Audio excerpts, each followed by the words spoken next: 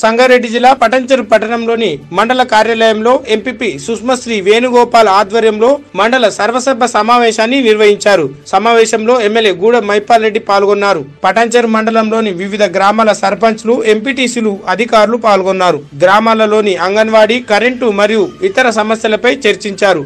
ముఖ్యంగా పెదకంజర్లలోని విజ్ఞాన్ స్కూల్కు ఎలాంటి పర్మిషన్ లేకుండా నడిపిస్తున్నారని పెదకంజర్ల ఎంపీటీసీ ఆరోపించారు.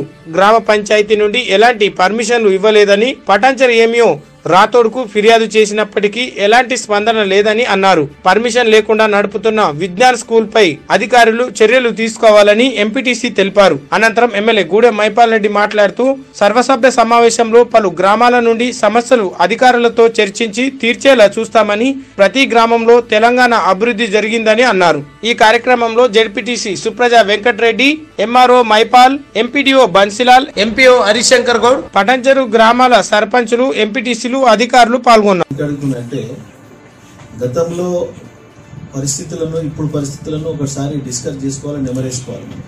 తెలంగాణ వచ్చిన తర్వాత ఏంది తెలంగాణ రాకముందు ఎందుకంటే ఒకసారి రసీద్ తప్పితే మసీద్ అంట ధర్మాన్ని కూడా ముంగటేసుకొని ఆలోచన చేయాలి. వాస్తవాన్ని కూడా డిస్కస్ చేయాలి. ఉన్నాయి సమస్యలు ఉండేవని కాదు. జీవితకాలము మనం ఉన్నంత కాలం పరిష్కరించుకుంటూ పోతే సమస్యలు వస్తూనే ఉంటాయి పరిష్కరించుకుంటూ పోతూనే ఉండాలి. ఎప్పుడు పరిష్కారం కావు. జీవితాంతం నడుస్తూనే ఉంటాయి. కానీ మెరుగైన పరిపాలన మెరుగైన ఆలోచన ప్రజలకు మెరుగైన వసతులు అందుతున్నాయా లేదా అనేది నిమరేసుకోవాలి నెమరేసుకోవాలి. వాస్తవాన్ని కూడా గుర్- గుర్తించుకోవాలి ఒకసారి. ఆ విధంగా తెలంగాణలో ఈరోజు పటంచెరు నియోజకవర్గం అంటే ఒక మినీ ఇండియా. ఒక మున్సిపాలిటీలో తెల్లాపూర్ మన అమీన్పూర్ మున్సిపాలిటీలో రెండు వందల యాభై కాలనీలు ఉన్నాయి. రెండు వందల నలభై ఏడు కాలనీలు ఉన్నాయి కొత్తగా పాత ఏరియా అంటే ఎగ్జాంపుల్ చెప్తా ఉన్నా. తెల్లాపూర్ మున్సిపాలిటీలో పాత గ్రామ ఇప్పుడు విలీనమైన గ్రామ పంచాయతీ కాకుండా ఆడ దగ్గర దగ్గర ఒక డెబ్బై నుంచి ఎనభై కాలనీలు పెరిగినాయి. మూడు లక్షల యాభై వేల ఓట్లకు రేపు నెక్స్ట్ ఎలక్షన్ వరకు ఏడు లక్షల ఓట్లు అవుతావు ఒక మినీ ఇండియా ఇది. భారతదేశంలో ఉన్న జనాలందరూ మన దగ్గర ఉన్నారు. రకరకాల సమస్యలు. అయినా మీరందరూ ఎక్కడికక్కడ సర్వంలో ఉండి ఎన్నో ఇబ్బందులు కూడా ఎదుర్కొనే పరిస్థితి. పది సంవత్సరాల క్రితమే మేము స్థలాలన్నీ కూడా కాపాడి గ్రామ పంచాయతీ ఆధీనంలోకి తీసుకోవడం జరిగింది. గతంలో ఉన్న ఎంపీఓ గారు ఎంపీడీఓ గారు ఆధ్వర్యంలోనే మా దగ్గర ఉన్న రికార్డు కూడా అంతా కూడా వాళ్ళు పరిశీలించారు. తక్షణమే చర్య తీసుకుంటామని చెప్పిన తర్వాత ఆ ఎంపీఓ గారు వెళ్ళిపోవడం జరిగింది. ఆ తర్వాత ఇన్ఛార్జిగా మధుసూదన్ గారు ఉన్నారు. ఆ రోజు కూడా ఇదే విషయం చెప్తున్నారు ప్రతి సమావేశంలో కూడా దాటవేస్తున్నారన్న.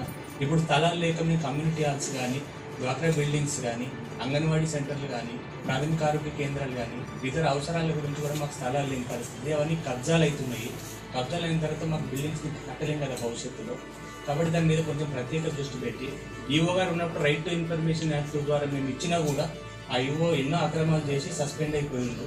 ఆ పోయిన తర్వాత రెండు నెలలు మూడు నెలలు ఇంట్లో ఉంటారు. తర్వాత మళ్ళీ డిపిఓను డిఎల్పిను మేనేజ్ చేసుకొని మళ్ళీ ఎక్కడో జాబ్ చేయని అవుతారు. కనీసం మా ఊర్లో కోట్ల రూపాయల భూములు నమ్ముకున్న వాళ్ళకి కూడా మళ్ళీ జాబ్లు వస్తాయి అక్కడ. వాళ్ళేమో జీవితాంతం బాగుపడి జీవితాంతం కుటుంబాలు మన పటాన్చెరు మండల్ పరిధిలో మాత్రం ట్వెల్వ్ షాప్స్ ఉన్నాయి.